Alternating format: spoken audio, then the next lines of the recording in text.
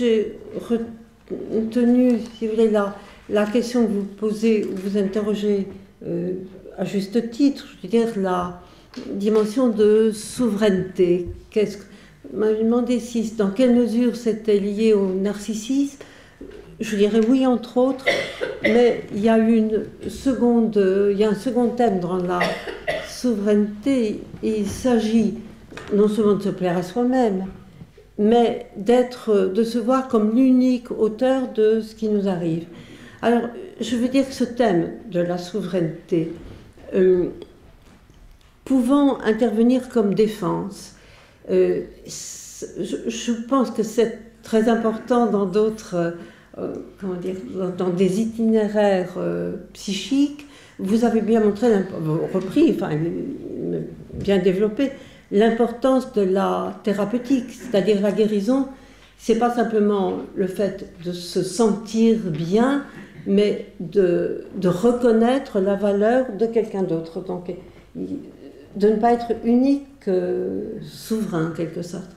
Alors que ce soit particulièrement aigu au moment de l'adolescence, et je pense dans certains parcours euh, cliniques, on voit que ça peut presque casser ce mouvement. Alors, je veux dire, ce thème de la souveraineté, je voulais simplement indiquer euh, un auteur qui a vraiment bien montré que ça, qui a problème. Est-ce qu'un père, et à la fois Racine, est-ce que devenir père n'est pas mettre en danger la vision de souveraineté que peut avoir un adolescent, par exemple? Ceux qui sont encore trop pris dans l'adolescence, dans quelle mesure peuvent-ils admettre le fait d'être, euh, d'avoir un enfant, l'enfant comme remplaçant? Alors, je pense que euh, Racine l'a bien développé dans, dans, un, dans une pièce qui est rarement reprise. Il y a même un commentateur important qui dit à peu près qu'on peut sauter par-dessus cette pièce, c'est la Thébaïde, où la peur d'être, d'être père chez Créon, et même le, le vœu, c'est, une pièce d'une, d'une audace et d'une impertinence, d'une justice, je ne sais pas, c'est-à-dire où, Racine a extrêmement peur de, du thème d'un père qui ne pourrait pas accueillir l'autre. Donc je crois que c'est euh, un thème qui est rencontré beaucoup. Il y a, un, il y a une pièce, Macbeth, qui est centrée là-dessus. Ce que disent les sorcières, justement, c'est qu'il y en a un qui sera souverain, l'autre qui sera père. Mmh. Et c'est une... Les deux sont mutilés d'une certaine manière et à la fois triomphants.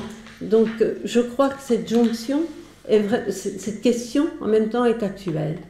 Quand, je dirais simplement une précision, cette idée de, de l'autre qui nous influence et qui est vu comme auteur de nous, c'est dans, c'est dans Freud lui-même, si on reprend, euh, comment dire, si on reprend le terme même, parce que au lieu de, de traduire celui qui est supposé être la cause de la névrose, est nommé par Freud Urheber.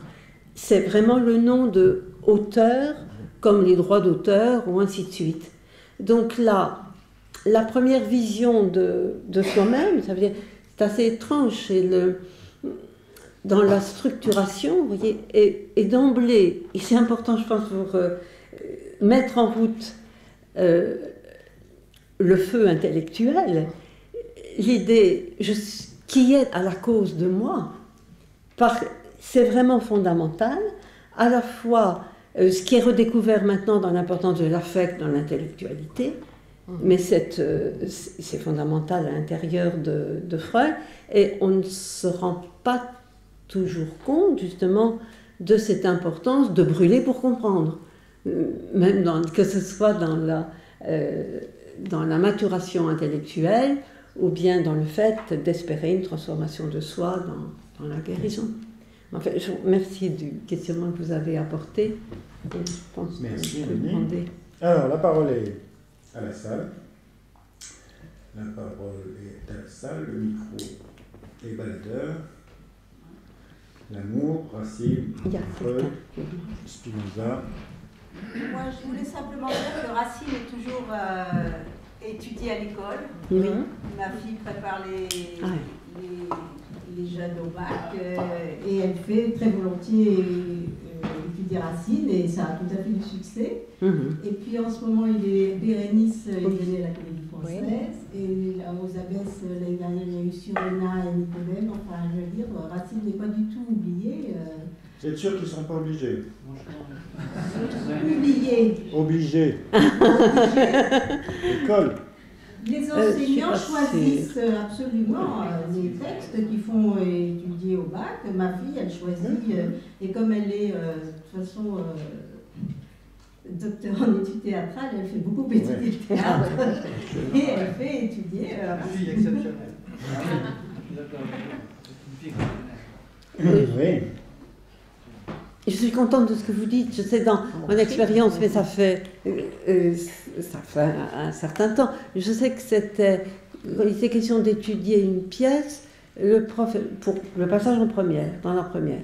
Et euh, le professeur proposait Andromaque, et c'est toute la classe, mais qui était de, filles, je dirais là, je, dirais dans, et où j'étais, moi je connaissais pas cette autre pièce, qui a vraiment demander avec force Phèdre, parce que c'était vu comme, mais justement du côté adolescent, comme la grande tragédie amoureuse, il y a le moment de la déclaration, et puis euh, la réponse d'Hippolyte, alors qui m'est revenu dans une séance là, ah cruel, tu m'as trop entendu, Hippolyte qui fait comme s'il n'entendait rien, alors qu'il y a du côté de Phèdre, sentiment qu'il l'a vu venir et qu'il a cette défense. Alors donc j'avais l'expérience d'un certain enthousiasme, mais je comprends votre question.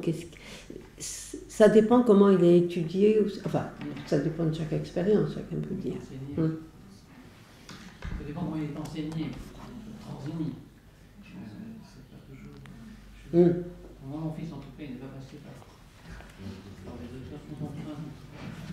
Je t'entends mal. Anne-Marie, la, la dame en blanc, là, oui. Merci. J'ai une question, c'est à propos de, de, cette mise en exergue que vous définissez chez Racine d'une, si j'ai bien compris, de, de, de, ce passé mythique par lequel... Attendez, j'entends pas bien là. De ce Passé mythique. Passé mythique, une histoire de filiation par lequel il y aurait en même temps chez l'individu une configuration inconsciente c'est ça qui, qui fait que on doit renaître une deuxième fois par quelqu'un euh, d'étranger au mmh. couple parental. Oui. Et, mmh. donc, ça mmh. correspond à quoi dans votre pensée? C'est presque incestueux de naître de ses parents, c'est ça? C'est presque trop. assez étranger? C'est la nécessité de briser une filiation? Oui, mais. Attendez, j'entends. C'est une question naïve. J'aimerais en entendre plus. Je, je, comprends. Mais là, vous. Comment dire Selon que je serais psychanalyste, c'est pas Freud qui a inventé l'interdit de l'inceste. Et c'est pas nous, euh, de manière individuelle, qui réinventons. Donc, c'est un. Euh, Freud dit bien que le grand désir ça n'est pas de chercher quelqu'un d'étranger, c'est de vouloir nouer un pacte avec sa propre origine, donc de, de valider, d'épouser la question de départ. Je crois qu'il a... Alors, on ne peut pas parler de toutes les trajectoires en général, hein, parce que euh, il y a des trajectoires plus ou moins traumatiques, ou, mais je dirais que dans ces trajectoires, même traumatiques, quand ça a été un peu un enfer, les, premier parent connu, eh ben, il y a un investissement énorme pour sauver l'autre à tout prix. pas régulièrement, mais même quand ça a été infernal, même pour survivre soi-même, souvent on sera obligé ou de répéter ou de valoriser. Même la dernière séance que j'ai vue était, encore dans ce sens-là. C'est la personne qui peut-être vous avez repoussé euh, de parents qu'il fallait surinvestir à tout prix, comme la rendre inoffensive. Et puis il y a cette force qu'il y a dans l'inconscient, c'est ne pas pouvoir entendre ce qui est blessant.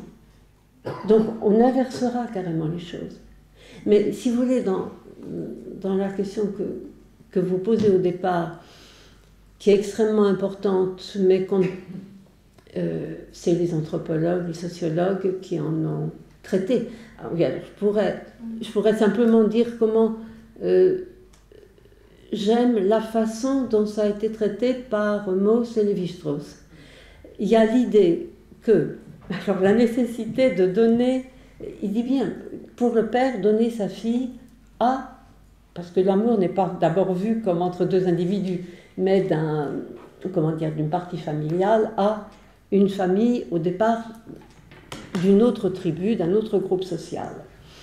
C'est présenté, euh, Lévi-Strauss reprend ça, en disant que la règle dans les sociétés, c'est ou, ou marier ou tuer. Que pour que deux groupes sociaux ne soient pas dans l'inimitié, il faut, mais qu'il y ait, au fond, entre un père et un père d'un autre espace, parce que dans, la plupart des tribus, on ne voit pas le couple au départ. Et, l'important n'est pas mis sur le lien à quelqu'un d'autre. On, est plutôt dans la perspective des mariages arrangés, mais comme ça, ça existait pendant des siècles dans la plupart des pays. Et l'idée de Lévi-Strauss, c'est que c'est d'une certaine manière un homme qui fait ami-ami avec un autre homme. Donc le, le mariage se, se décide d'un homme à un autre pour faire en sorte que l'autre ne soit pas ennemi. Alors, bien sûr, ce n'est pas du tout une explication, c'est pas de type psychologique, mais on, est pris dans des, univers sociaux, si vous voulez, qui imposent leurs contraintes. Et je crois que ce serait injuste pour euh, un psychanalyste de dire euh, mais non, dans le fond, c'est faux, la vraie.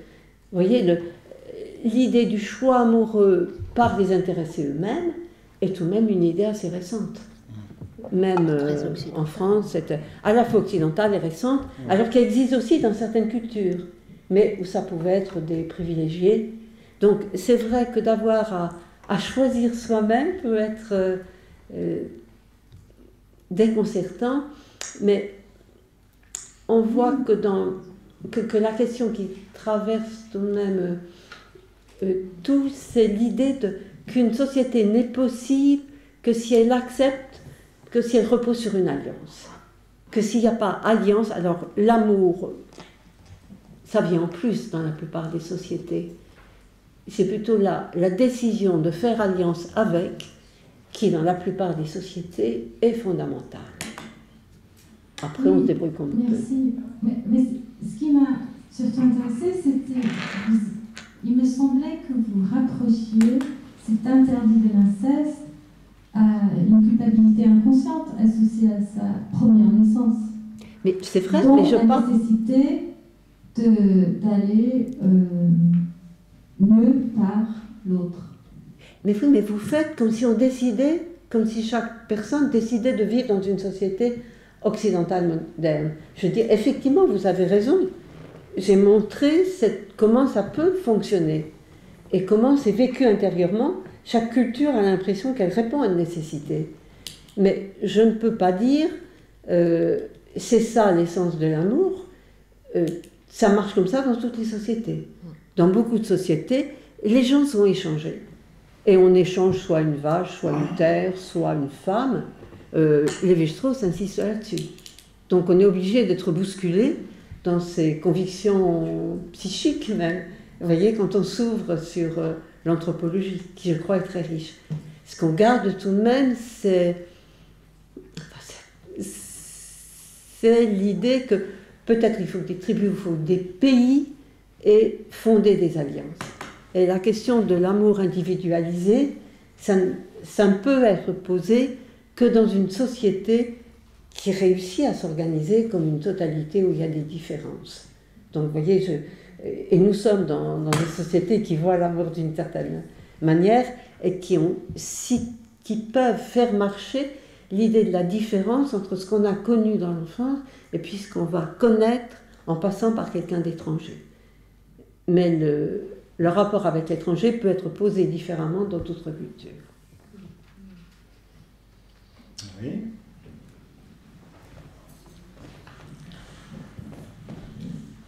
Le format. Alors, euh, juste, je, je, vais reprendre la, question d'Anne-Marie Smith parce que c'est une des choses qui m'ont intéressé. D'abord, une petite remarque. Euh, Liminaire, euh, vous avez évoqué le, la, question, la question juive, la question du nazisme, la question des corps étrangers. Bon, vous le savez certainement, mais dans le très beau texte de, de Wilhelm Reich sur le, sur le nazisme, il y a relevé par Wilhelm Reich le, fameux lapsus de Hitler dans Mein Kampf, où la grande question de l'espace vital euh, qui devait amener à l'extermination des juifs, c'est la peur du, la, peur d'une contamination sexuelle. Le lapsus est là, la peur d'une contamination sexuelle pénétrée par le corps étranger, juif, etc.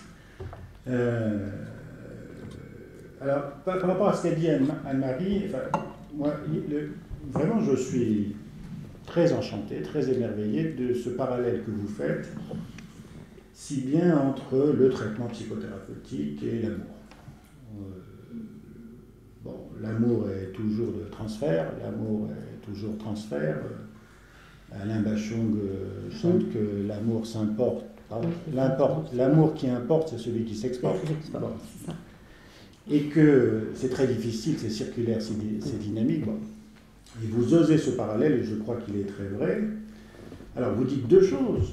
La première, c'est que l'amour, ou la relation thérapeutique, euh, analytique, psychothérapeutique au sens large, permet, petit a, si on veut faire une chronologie, tout ça se mélange, permet cette chose formidable, quand on rencontre un être amoureux ou un thérapeute avec une rencontre identificatoire, c'est qu'il permet la grâce d'une trêve d'avec nous-mêmes. Mhm. C'est-à-dire mhm. qu'on arrête d'être étouffé par sa propre histoire. Mhm.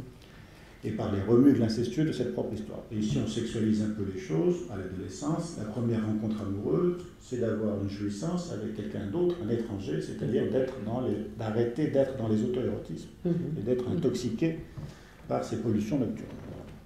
Donc premièrement, rencontrer quelqu'un avec le fait que c'est un transfert, c'est-à-dire qu'on y projette plein de choses, ça permet euh, d'arrêter d'être avec soi-même en vase clos, sans oxygène, etc. C'est déjà beaucoup. Mais vous dites quelque chose de plus en amour et dans le traitement avec le transfert, c'est la phrase de, Sartre, c'est que l'autre nous retourne la mémoire. J'aime beaucoup moi cette phrase. C'est cette idée, vous allez même plus loin, nous retourne la mémoire. Euh, celui dont on tombe amoureux, c'est celui qui nous retourne la mémoire.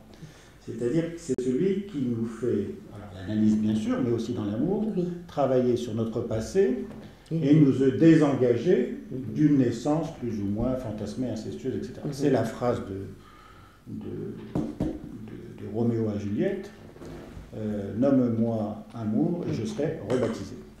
Et c'est fini les, les Capulets, les Montaigu, tout ça. Bon.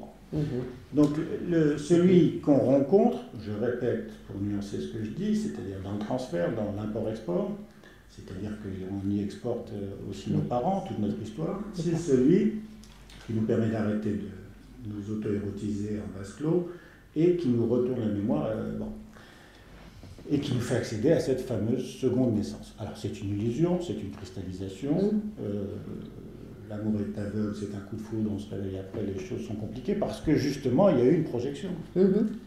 Et puis il faut bien aussi que l'amour travaille cette projection après coup. Ça n'était qu'une projection. Ce que je veux dire par là, c'est que on a l'illusion qui va nous débarrasser de nos ascendants, de notre généalogie plus ou moins tordue, surtout qu'on l'a fantasmé euh, plus ou moins pourri par le remue l'Oedipien. Donc il nous débarrasse de ça. On est parti, on oublie tout le monde. Et puis on se réveille un jour et on a choisi quelqu'un euh, qui ressemble étrangement à notre parenté rééprouvée assez souvent. C'est une question. Pas toujours, c'est une question. En tout cas, en tout cas, lorsque la lune de miel est dépassée, lorsque l'aveuglement, euh, le coup de foudre arrête, il y a quand même de sacrés réveils. Oui. Et ce que je veux dire, c'est que c'est une illusion qui fonctionne. Et dans le transfert en analyse, c'est aussi une illusion qui transforme, qui nous retourne vraiment la mémoire, qui nous fait retravailler le passé, etc. Alors, on peut discuter de ça, mais alors, là où je veux vous discuter, hein, parce que quand même, les petits garçons en ont pris beaucoup là. Hein. ah non, c'est eux qui sauvent. Vous avez raison, mais bon, Spinoza, euh, Spinoza a dit plein de choses, il a dit que le corps peut l'esprit. Il se trouve que la femme et, Freud a dit que l'anatomie c'est le destin. Il se trouve que la femme a un creux.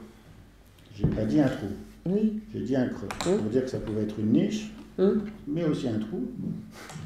Et que l'homme a un appendice dont il se vante, mais qui l'expose quand même à être. Donc on n'est pas dans, dans une position relativement équilibrée par rapport à ce à quoi vous, vous aspirez, et vous avez raison pour ce qui est des thérapeutes, c'est-à-dire d'accepter une certaine féminité, ah une certaine réceptivité, sinon il n'y a pas d'analyse possible, bien sûr. Mais, euh, peut-être pour me rattraper, je dis ça. Les femmes, c'est plus facile pour elles, parce que je crois vraiment que le corps et l'esprit, je crois que c'est parce qu'elles ah sont, je crois que parce qu'elles ont cette anatomie-là que c'est possible, qu'elles sont moins vulnérables. parce qu'elles sont moins vulnérables à l'altérité. Nous, nous nous engageons beaucoup plus dans la rencontre avec l'altérité radicale, avec cet appendice guerrier qui risque d'en prendre un coup, tandis que cette réceptivité est peut-être plus facilitante. Mais ce que je veux dire, c'est là où je veux être polémique, mmh. c'est qu'il me semble que si la femme est capable, peut-être plus que l'homme, d'une réceptivité et d'un abandon euh, plus absolu, y compris jusqu'à accepter d'être dépossédée de sa personnalité en amour, elle se récupère assez vite. Hein?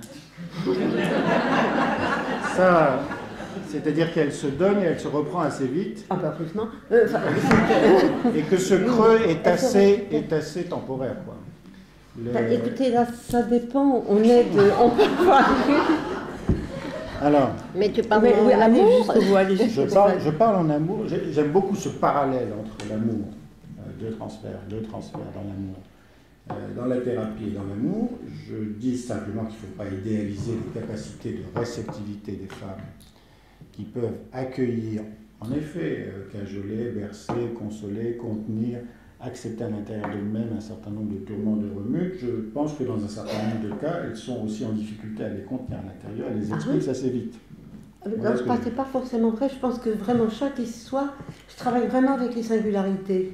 Et puis, comment dire, j'ai peut-être la chance dans les gens qui me demandent de faire une analyse euh, avec, je ne dis pas que euh, cette expérience d'une ça c'est vite. Je dirais ce qui me surprend, c'est qu'il y a plusieurs cas de patientes qui sont venues après une communication où j'avais plus parlé de racines que je n'avais fait, et qui, bien que dans des positions euh, sociales tout à fait euh, intéressantes, confortables, euh, viennent trouver parce qu'elles avaient une, une souffrance amoureuse très forte et pour leur mari.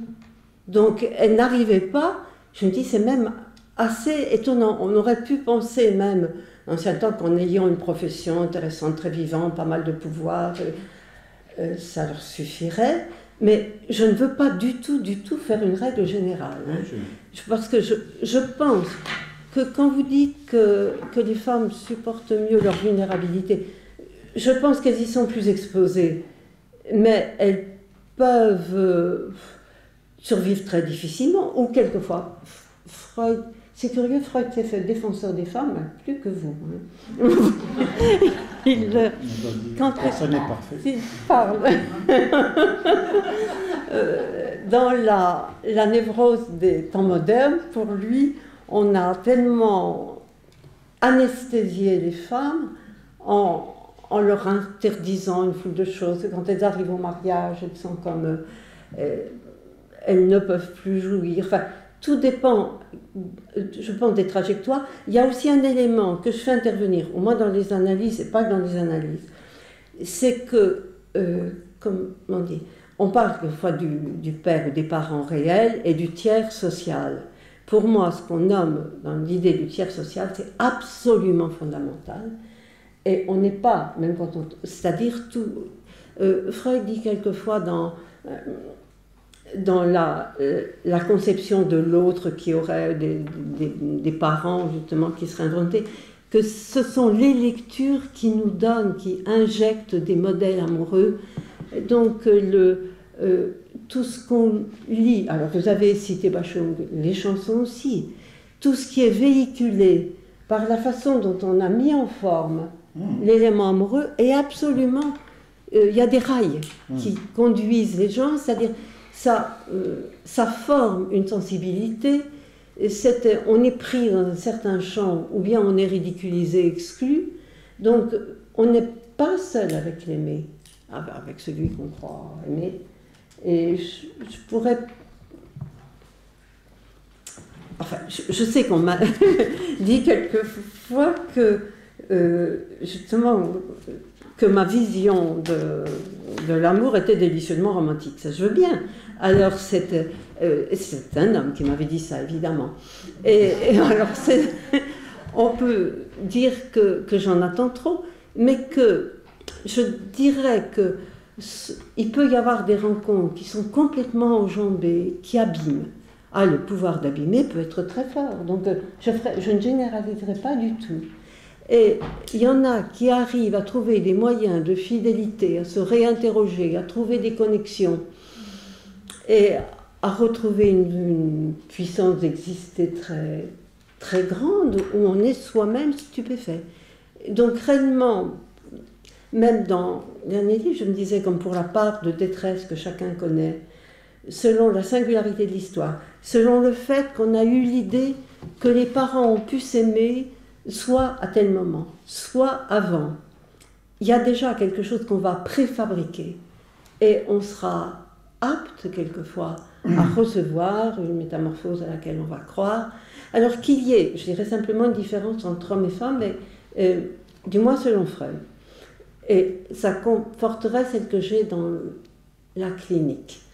C'est-à-dire le fait de demander une analyse par, parce qu'on n'arrive pas à se sortir d'un lien amoureux trop fort, je ne connais que des femmes pour être malade d'amour, disons, ou être cassée et avoir que. Alors, j'ai pas eu de demande, je dis pas que les hommes ne sont pas, mais dans, dans les demandes de gens, alors pas adolescents, hein, mais de couples, j'ai pas du tout la même proportion.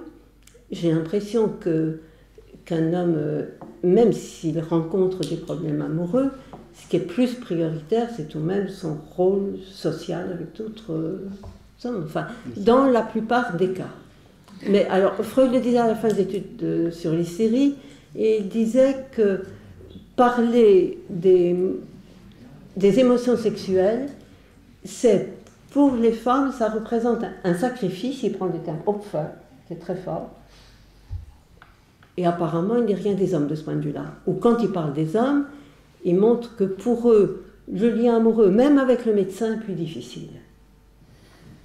Bon, euh, je dirais que mon expérience recouperait plutôt quelque chose de ce côté-là, mais on peut évidemment être d'avis différents, surtout qu'on n'a pas, comment dire, on n'est pas sociologue, on ne peut pas demander, il y, a, il y a des analyses avec des gens qui s'adressent euh, à vous.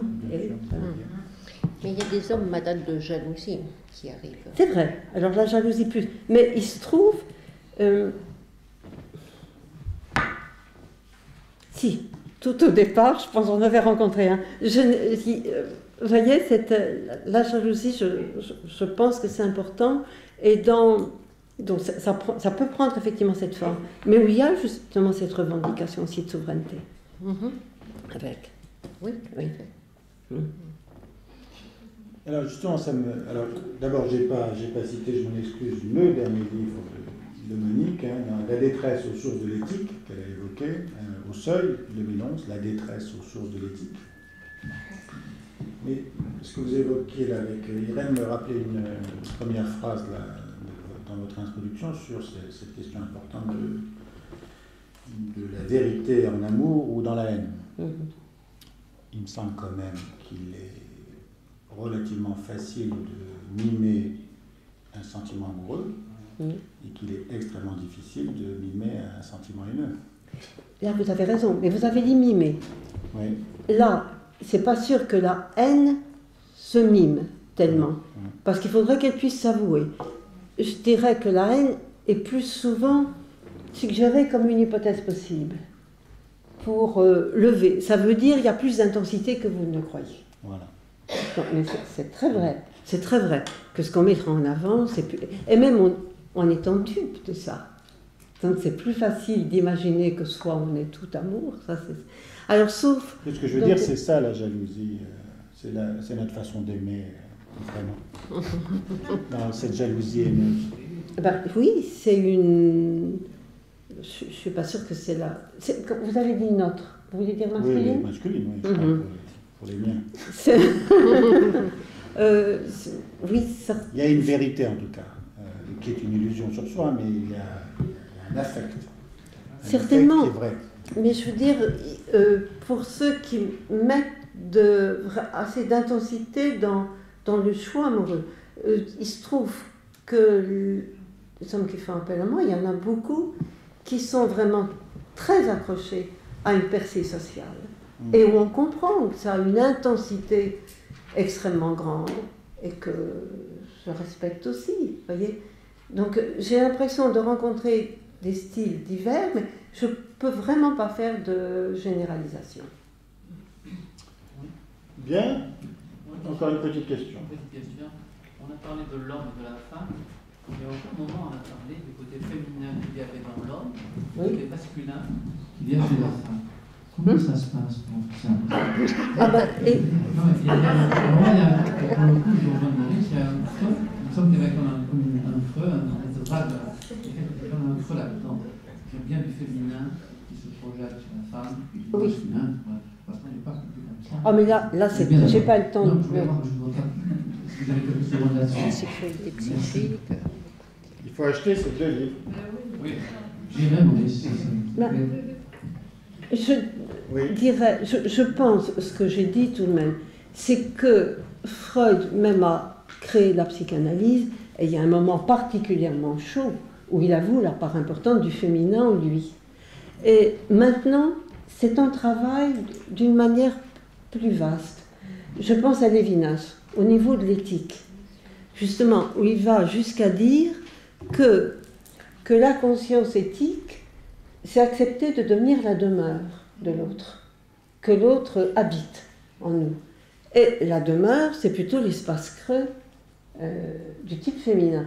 Et il dit que pour être capable de cette ouverture éthique, et du sens de l'autre, et dans toute profession où il y a cette écoute de l'autre, mm. il parle de la nécessité, il prend un mot fort, d'une effémination. Donc c'est bien reconnaître. Ça, vous avez tout à fait raison. Il y a, ce problème qui est en travail. C'est pour ça que j'indiquais de manière euh, brève qu'on est dans un mouvement culturel et que ce thème d'une revendication masculine à être aussi dans la tendresse, dans le féminin, dans l'accueil, soit du côté paternel, soit dans des rapports entre hommes, soit au niveau des systèmes des valeurs, je veux dire, les choses sont vraiment en train de bouger.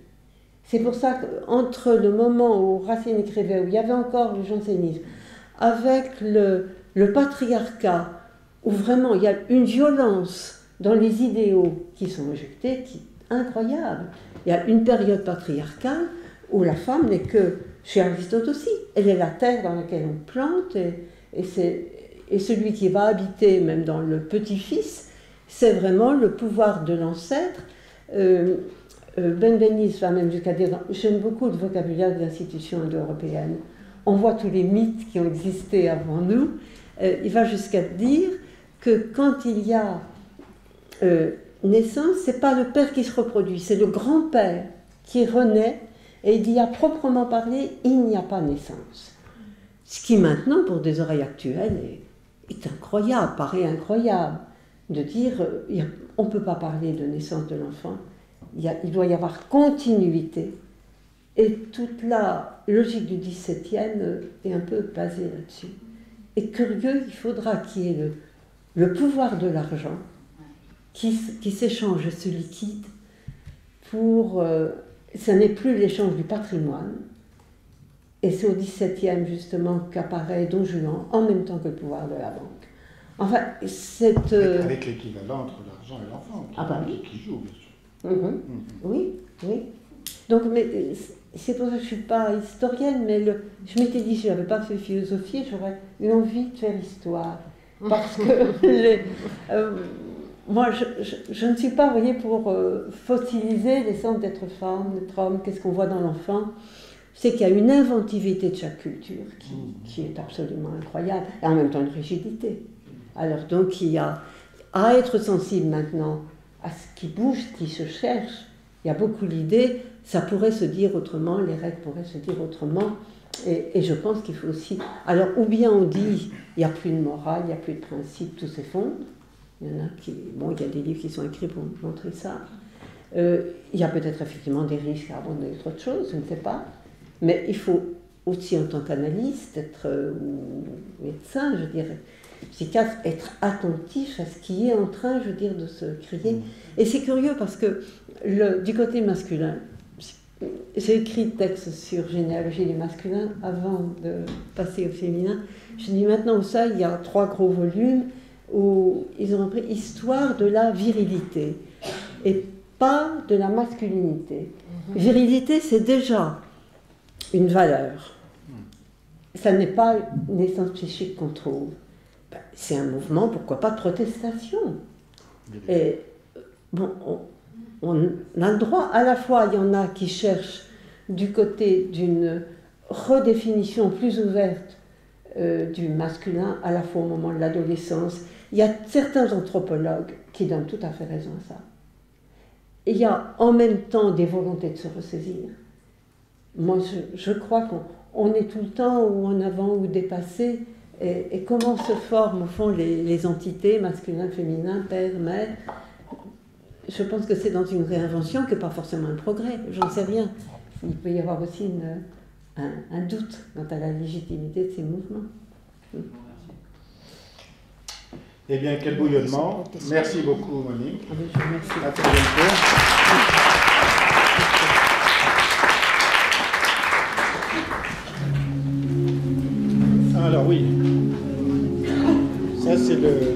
Le, le requiem sur Racine par forêt. Ah, ouais.